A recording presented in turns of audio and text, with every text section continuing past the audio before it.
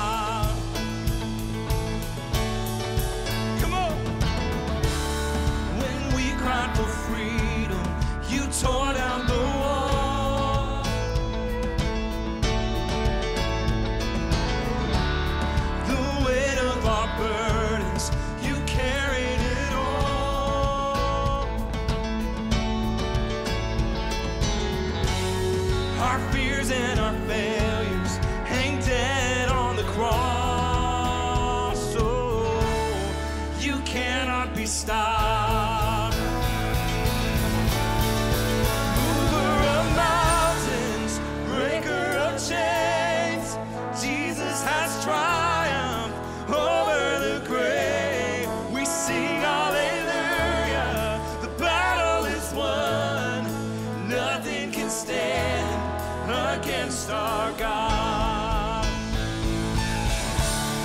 We stand on your victory and shout out to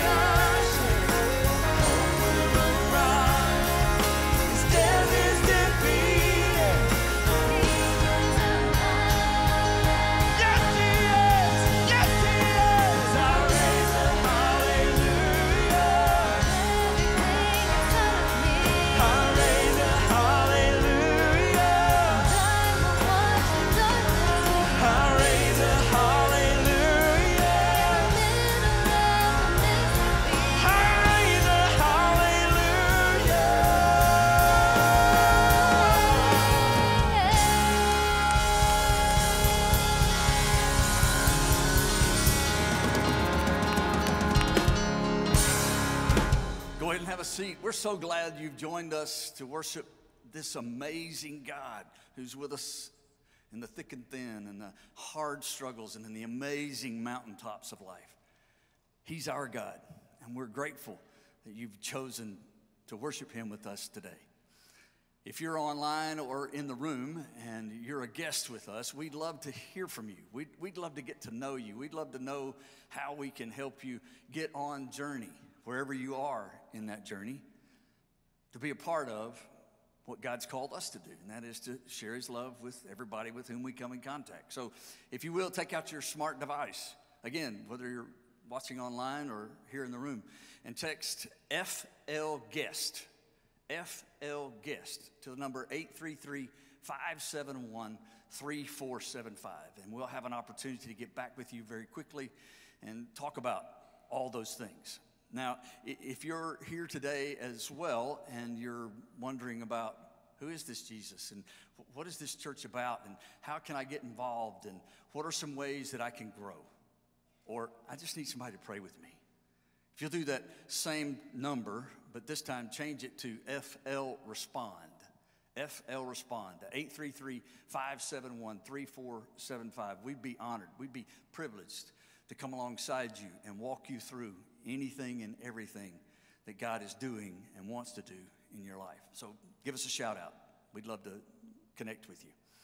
Also, for everybody else in the room or for everybody, period, online as well, if you would uh, take that same smart device and go to our Facebook page and share the live stream today. No telling who's out there waiting to hear what God's doing in our hearts and lives today, what Bobby will, will say from his word. Um, and you might be used of God to connect them with Him. So if you would just share the live stream, use the hashtag enduring proof as you share that. That'd be a, a great way to get on mission, if you will. Uh, one thing we'd like for you to know about uh, this Wednesday night, we're going to have a block party for as many and as varied a, a, group of people that we can get to come here today, or uh, here that Wednesday night. And we'll have this block party for anybody and everybody in our community. And we'd love for each of us to be there to welcome them and to encourage them and let them know that we're here for them and that we love them. And so please come. There'll be some food and there'll be some music and there'll be lots of activities and it'll be here on the premises right out that way. Love for you to be a part of that and help us extend this love to the folks in our community. So we'll look forward to seeing you Wednesday night.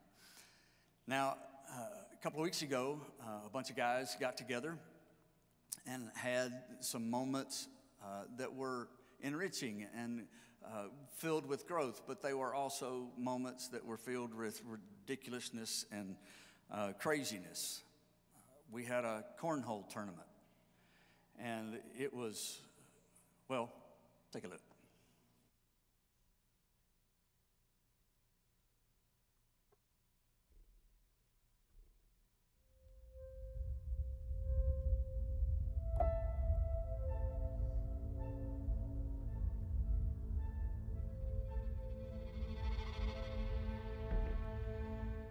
To those that would say that I might have been a little bit too competitive, they definitely don't understand the hours of practice that I put in to prepare for this tournament and and uh, just how important it is to win it and to get that that cornhole bag with Sharpie written on it that says first place.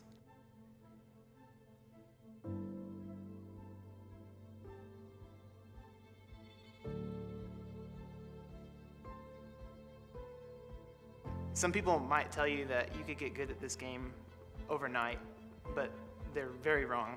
It takes way less time than that.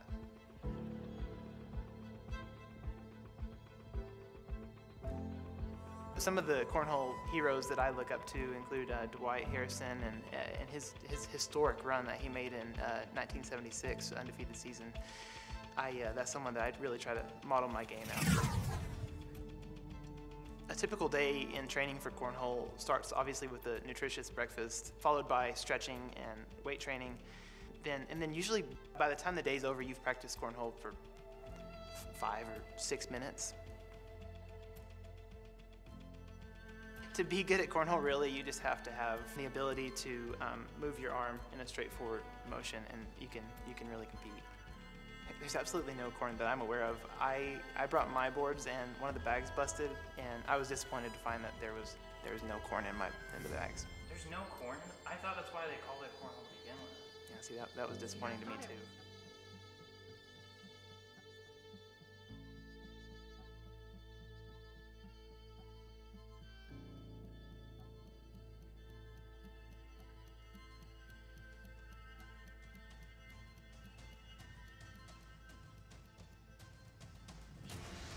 Things like this are just really, really neat and really interesting for us to be, to have available to us because it really gives you an opportunity to get to know people that maybe you see just in passing on Sunday or maybe even in your Bible classes that you didn't have a prior connection that you felt comfortable with visiting with them. And, and uh, you know it's kind of hard to stand next to a grown man and throw bean bags at a box with a hole in it without kind of getting to know him a little bit. Uh, and so I, I just think it's really cool to to be around different generations and different groups of people and, and uh, just with the chance to know people that you just wouldn't have otherwise.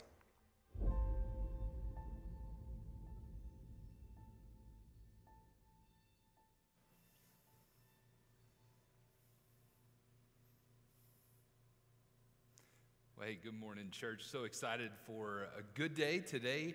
Uh, we get to celebrate with baptism.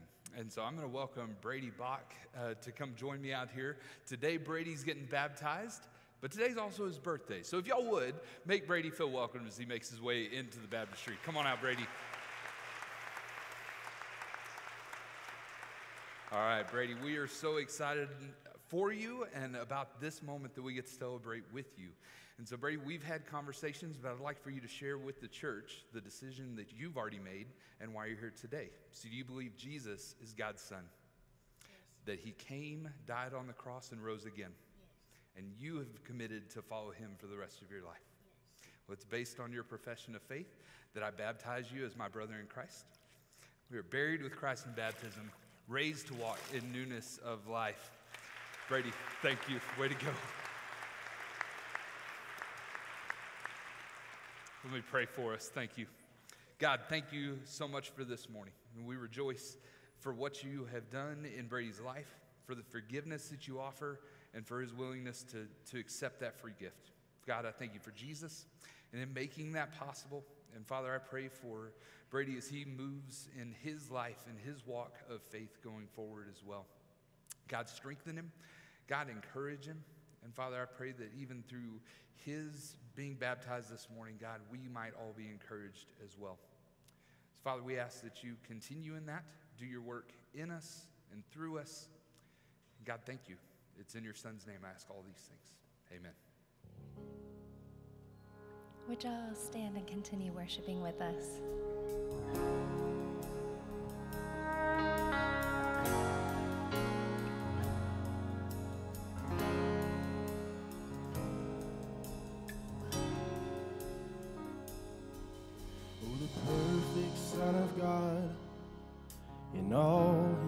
Innocence. You're walking in the dirt, you and me. He knows what living is, he's acquainted with our grief. Man of sorrows, son of suffering, blood and tears. How can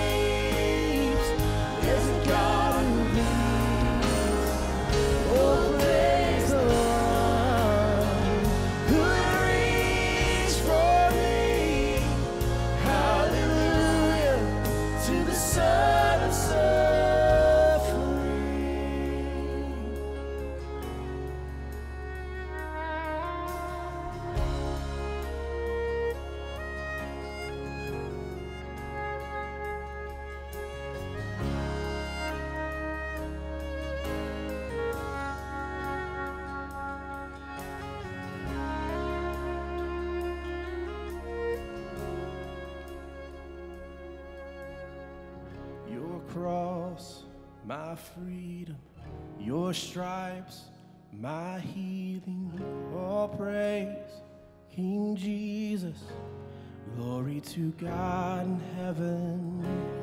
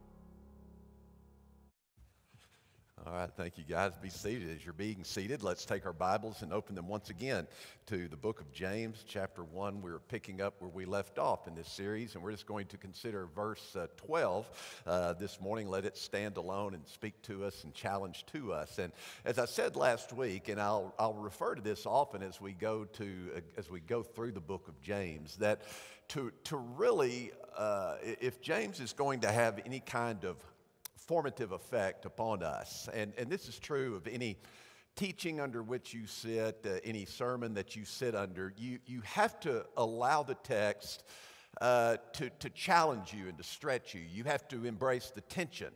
Uh, that the text oftentimes creates within us this tension between uh, the challenge of the text and the life that we are actually living. And so, are we going to allow the text to stretch us? And we're going to find that James does this in, in a way that, that really no other book in Scripture really does. The perspective and the framework of James' life, his family's life, as an impoverished people uh, in this messianic community, it really stretches us. And if we are going to grow, and it's true in life, uh, mentally, physically, spiritually, if you're going to grow, uh, you have to embrace discomfort. You have to be comfortable being uncomfortable. In fact, on a daily basis, you have to seek out what is it that makes me uncomfortable. If I'm going to grow physically, mentally, spiritually, I have to be uncomfortable. Uh, otherwise, we are just digressing in every facet of our lives. And so uh, I want us to keep that in mind as we're going through the book of James because it is, in fact, a very challenging uh, book, and we will find that to be nonetheless true this morning in our passage of Scripture here in verse 12. James Poling wrote a book some time ago entitled The Search for America's Faith. And in Poling's book, all of his research, all of the data that he compiled, it, it led him to characterize, or to categorize rather, the American people in a, uh, in, into what he calls almost Christian. Almost Christian. That for most, they will have confession, but there is no conviction.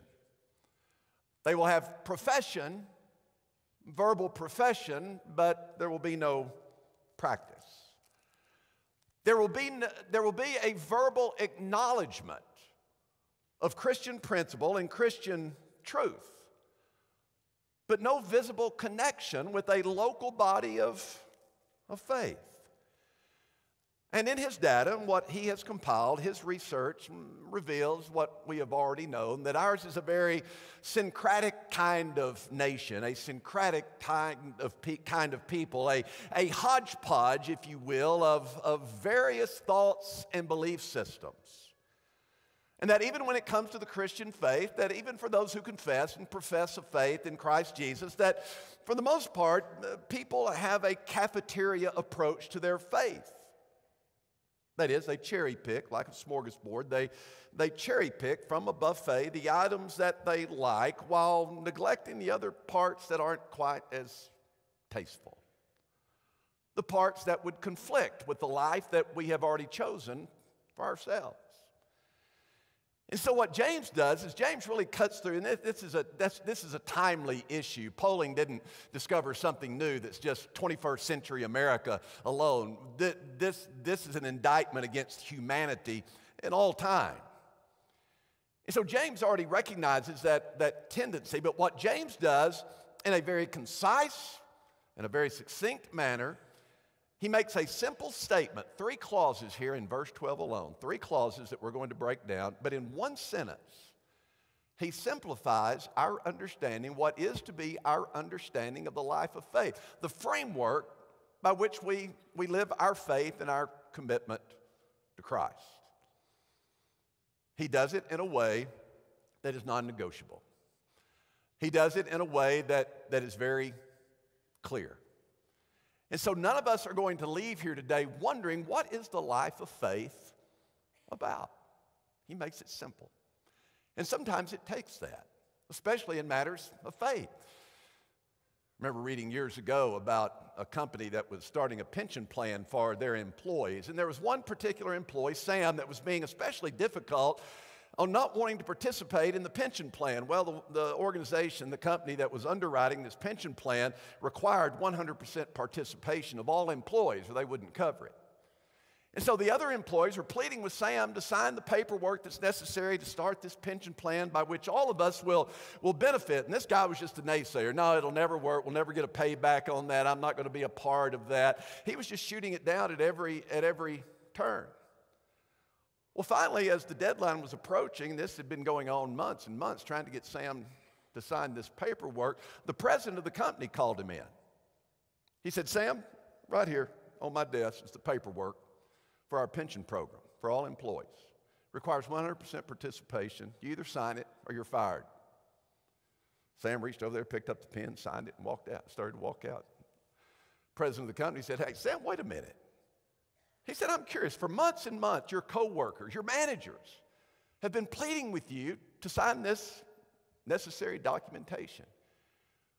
And yet I come in, you come in here when I call you in and I tell you either sign it or you're fired, what, what's the difference? He said, uh, Well, no one ever explained it as clearly as you did. well, that's what James is doing. He is explaining clearly the life of faith what is to be our understanding of what it is to be the people of God.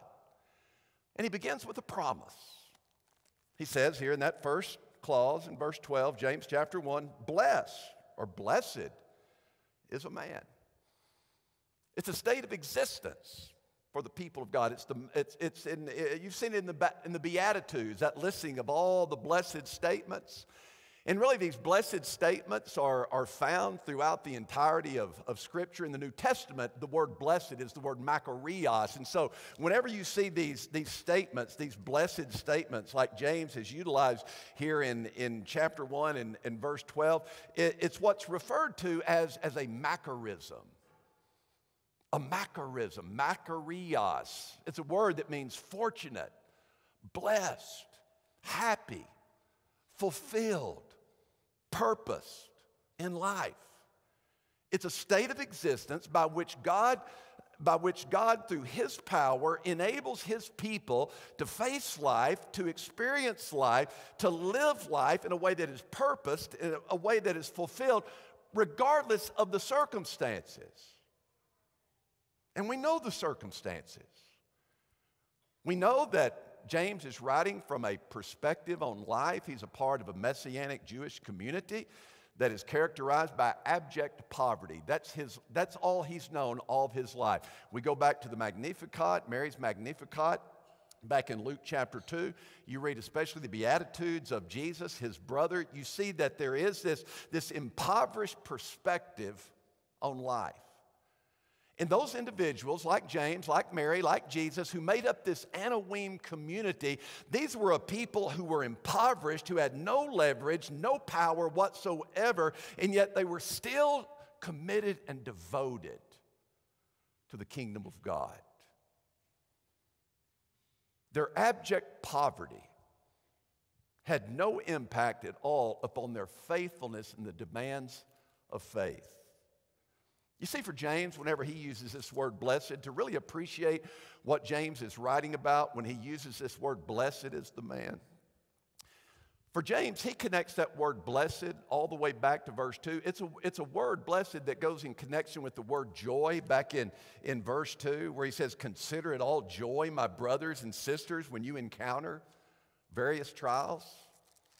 And again in verse 9, when he talks about we as an impoverished people, that, that audience to whom he is writing, this Jewish messianic impoverished community of believers, when he tells them to glory or to boast in their, in their high position, that these, as a lowly people, you're in a position of glory and boasting. And as we saw in the previous weeks, when he talks about this perspective of faith that allows me to have joy, that allows me to boast, even in my adversity, he's saying that for us as a people of God, that what separates us, that, that what marks us in, our, in the effectiveness of our witness as a people of God, that we see through through eyes of faith, we see through our circumstances. And for these, it's circumstances that would never change in their lifetime. This is no Pollyanna story that things are going to get better. You just hang in there. They're not, not for the Anawim. And so he was writing to a people for whom things are not going to get better. But James makes it clear that through this, you can have joy, you can boast because you have the confidence you can see through these trials and you have the confidence of knowing that God is accomplishing something formative within you that could not be done otherwise. That it's these very circumstances that has availed you to the providential purposes of God, that God is doing something formative in your life that could not have otherwise been accomplished. Now, when he uses that blessed, that word blessed, is connected also to joy, to boasting, and to glory. But the word blessed also has an eschatological, if you will, an eschatological view. Now, when I use that word es- eschatological, eschatology is the study of last things. When you hear the word eschaton, that's last days. And so when James is using the word blessedness, he's taking it from just from just a present tense perspective that yes, I know in this that God is doing something formative in my life. But now he's offering this eschatological view as well that knowing that in the end, I can look ahead to the end, that even though my circumstances may not change, I can look ahead to the providential purposes of God being accomplished, his justice being fulfilled, and my faith being vindicated. That something formative is being done through this. Now, that promise that James is alluding to in our existence as a people who are blessed, regardless of circumstances, this is something that shapes our worldview. This is something that gives us confidence in life, regardless of our, of our circumstance. It's a promise that sustains us and keeps us pushing forward beyond the moment to what God has in store.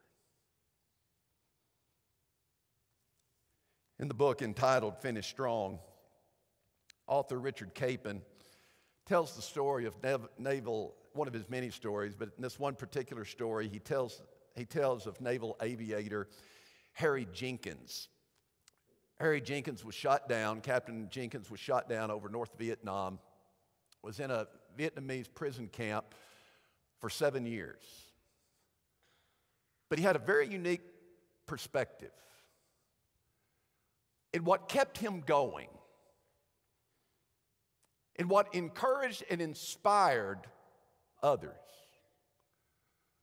was a perspective regarding circumstances, everything that happened, everything that, that he experienced. Captain Jenkins identified it and called it a good sign. when he was dragged out of his cell and tortured, that's a good sign, he said. It's a good sign that I'm getting closer to not being tortured again. When American bombers were carpet bombing North Vietnam, when his prison camp was being shaken, he said it's a good sign that American forces are ramping up and that maybe the end is near. When another Christmas came and went, he said, That's a good sign that I'm getting closer to being back with my family again. And so, the promise of God, James would say, this promise of God that we are a blessed people, that you are a people for whom God has a plan and a purpose. That is a good sign for you, even in the midst of your trials and circumstances. But, as there always is, there's more to this story. And in the life of faith, it's not just about promises. Because what James says now is that with that promise, there is a premise. There is a premise that holds true if the promise is to be reality. Blessed is a man, here it is, blessed is a man who perseveres under trial. And so, the blessed state of existence, to which James has alluded already in that first clause, that blessed state of existence is based upon a premise. That state of blessedness becomes a reality for me and for you only as I endure, only as I persevere. Only as I, not, I do not allow myself to be shaken and, and to be diverted from the circumstances and the hardships and, and the trials of life. You say, well, Bobby, wait a minute. I thought salvation was unconditional. Oh, we've, we've maligned some words. Yes, the love of God is unconditional. The love of God is conditional for anyone and everyone. But for those who would be the people of God,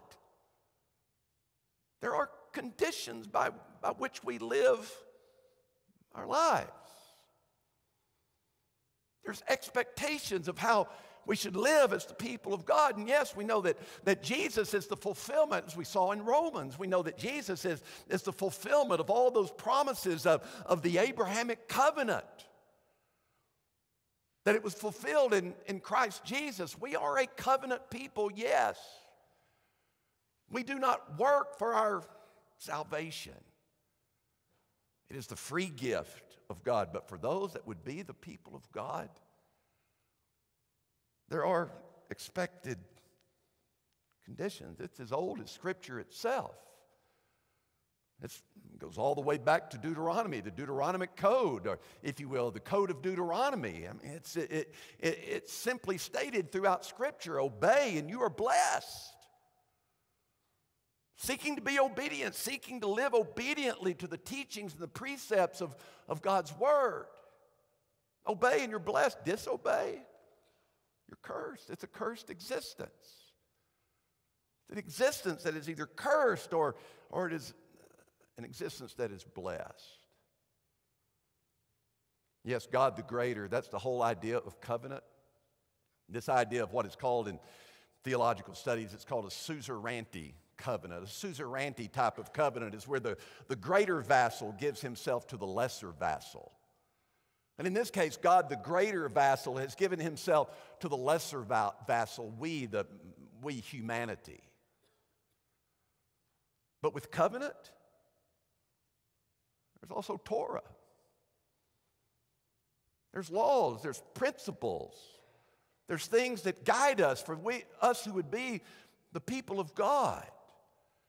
And listen, don't think I'm holding forth some kind of salvation by works here. Not at all, but, but a salvation that is real, a salvation that is biblical, that is one that, that has brought about a new birth, that has brought about a conversion, that has brought about a transformation. It is characterized by, by a life that pursues obedience and, and it will endure in that task. Right? Jesus himself said that, those, that it's those who endure to the end that shall be saved. It is those that have not been knocked off course by, by the trials and the seasons of, of life.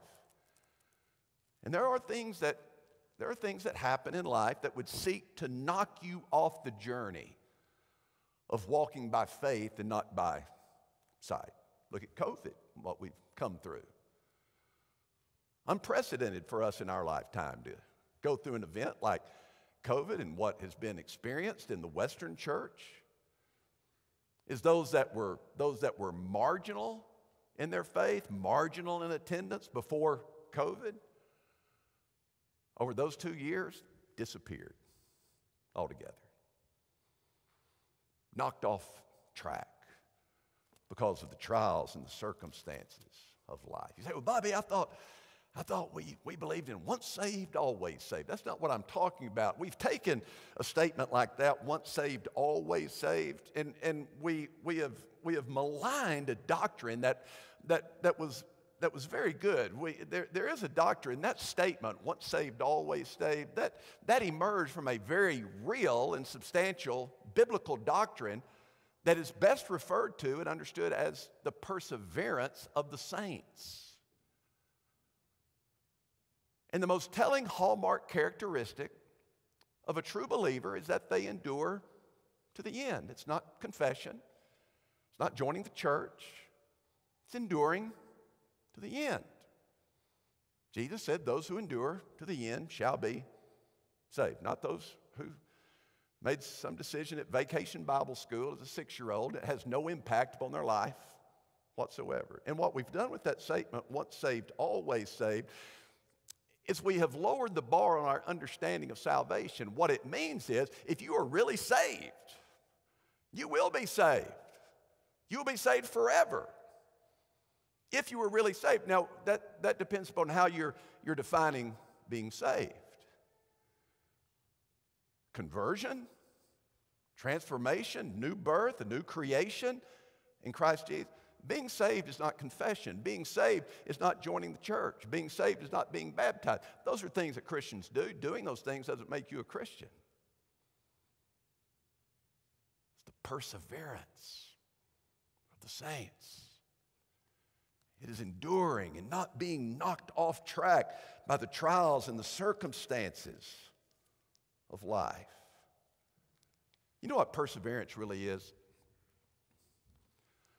Perseverance is the hard work you do after you've done all the hard work that made you tired.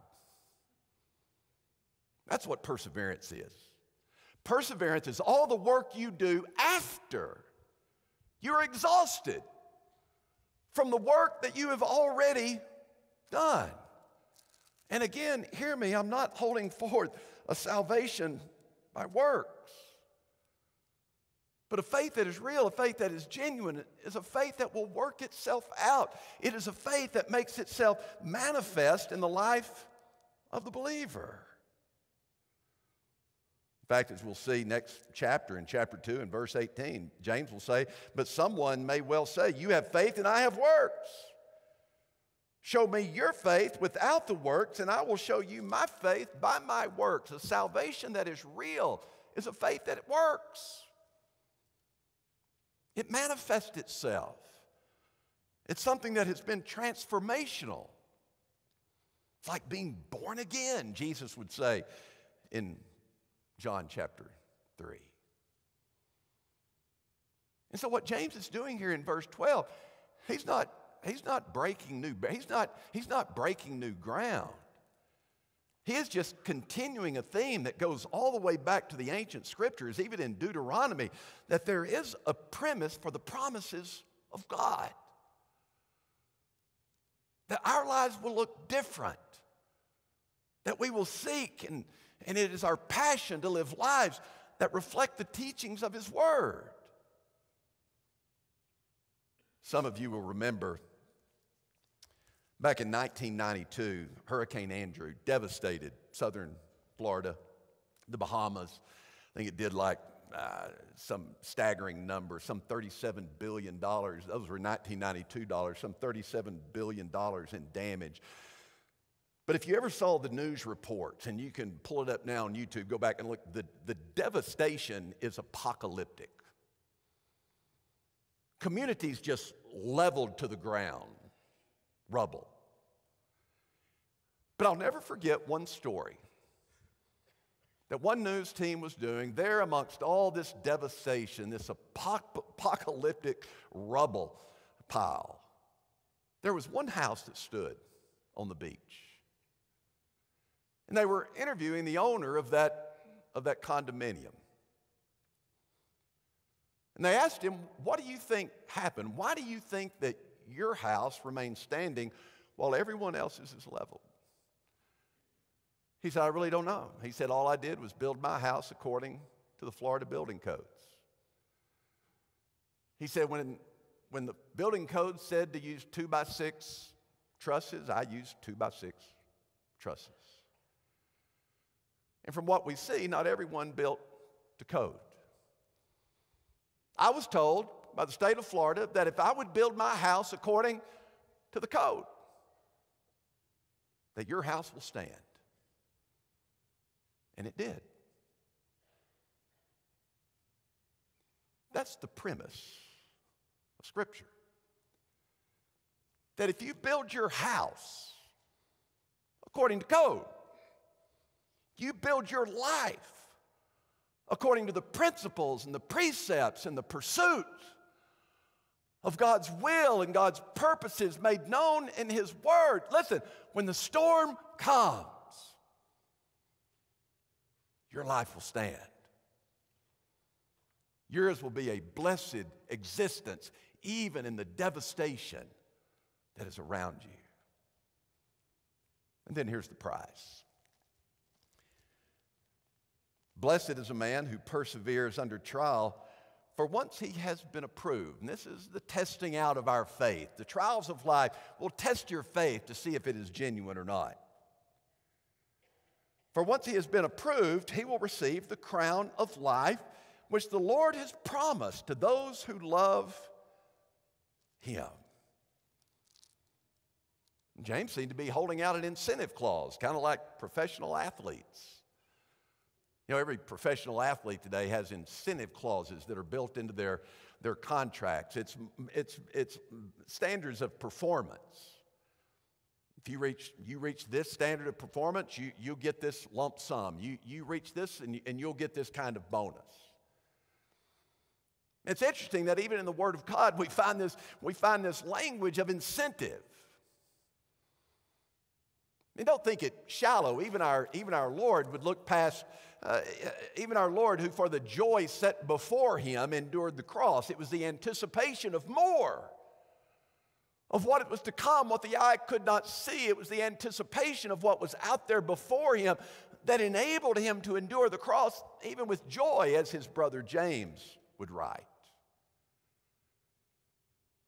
Paul certainly borrowed from this concept when encouraging the, the church at, at Corinth. In describing the life of faith, he said in, in 1 Corinthians 9, verse 25, everyone who competes in the games exercises self control in all things. So they do it to obtain a perishable wreath, but we an imperishable. That's the victor's crown to which, to which James is alluding. Oak, laurel leaves, something that uh, evergreen that represented eternal life. And so Paul is encouraging the church at Corinth listen, you, you hang in there and you fight. You've got, you've got something worth living for. I mean, if an athlete is willing to make this kind of sacrifice, to do, to do this much work, to put this many hours into this for something that is temporal in nature, for a crown, then how much more we, as the people of God, should be willing to give and to sacrifice and to labor for our Lord, knowing that our reward is something that is eternal in nature. Paul didn't just encourage others that way.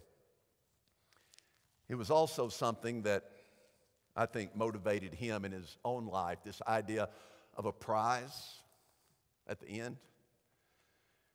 As he was sitting in a Roman prison, facing the possibility of his own death, Paul would write to his young understudy. And he would say this to Timothy For I'm already being poured out as a drink offering, and the time of my departure has come. He's talking about death. I've fought the good fight. I've finished the course. I've kept the faith. I've endured. I've persevered. Shipwrecks didn't knock me off course. Stoning, beatings didn't knock me off course in my faith journey. That thorn in the flesh that the Lord wouldn't remove, just telling me His grace was sufficient. As disappointed as I might have been in that, in that answer, in that response, when I think I could have done so much more, you know what? I never got off course. I stayed faithful. I finished the course. I kept the faith. In the future, there is reserved for me the crown, the prize, the crown of righteousness, which the Lord, the righteous judge, will award to me on that day, and not only to me, but also to all who have loved his appearing. And what James is saying, and what Paul was saying, and what Paul lived out in his own life is that this approach and this endurance, if the promise is going to be the reality of your life, this blessed existence, it's going to be based upon this premise of enduring. And for that to happen, you, you cannot let your eyes be blinded by the temporal by the present tense. It's a mindset of faith and perspective that sees into the eternal, that has no hope in this present world, and keeps its eyes fixed upon Jesus, the author and the perfecter of our faith. It's a view of life in an existence and an existence that realizes there is more to come. What's happening to you now? I promise you there's more to come. What you're struggling with right now, I promise you there's more to come. You endure, you'll experience it. When Roman soldiers used to wander inside those tunnels that are part of, that are found on the Rock of Gibraltar. Those Roman soldiers in that ancient day, believing that, that the world was flat, that the world ended just a few miles to the west, Roman soldiers would chisel inside those, those tunnels on those walls the Latin phrase, ne plus ultra. Nothing more beyond. After those ancient days, subsequent travelers and tourists who also would walk through those tunnels. They would notice that, that Latin phrase, and, and what they would do in response, knowing that the world was in fact round, they would chisel out that negative nay. So that what remained was plus ultra more, beyond. That's the prize of which James writes. Regardless of your circumstances, there is more beyond. And so you and I, we leave here as messengers of hope, of witnesses of hope. We bear testimony by our reaction to the world that there is more beyond. and we conduct ourselves accordingly. Let's pray together. Father, how grateful we are for the promise of more beyond. But not just more beyond, Lord, but the fact that we can live a blessed existence even now. Even in our trials, even in our overwhelming circumstances. That we as your people can live in a state of blessedness. We can choose to live in a state of joy and glory. When we see our world through eyes of faith, the conviction and the belief that even in, in these times, you are accomplishing something formative and substantive. Something in our lives that, that is fashioning us to be the kind of disciples and people you would have us to be. Father, we pray each one of us for this perspective and this mindset that our presence might be one of hope in a world that is filled with despair. In Jesus' name I pray, amen.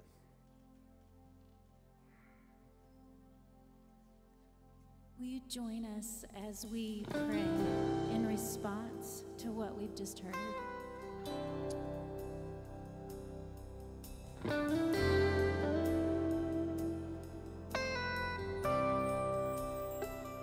Though he was he laid down heaven's glory. Though he was good, he set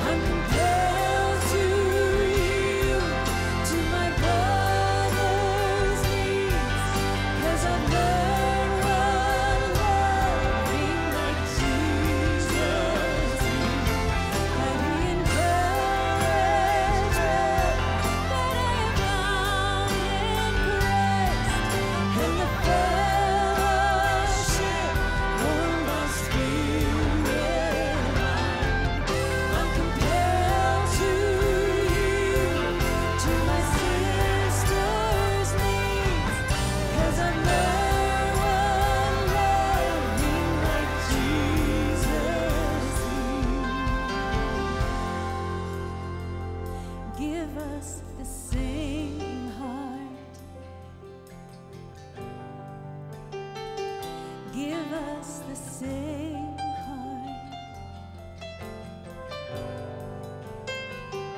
Give us the same heart. More like who you are. May we be a church that lives according to the example of our Lord all week long. We'll see you soon.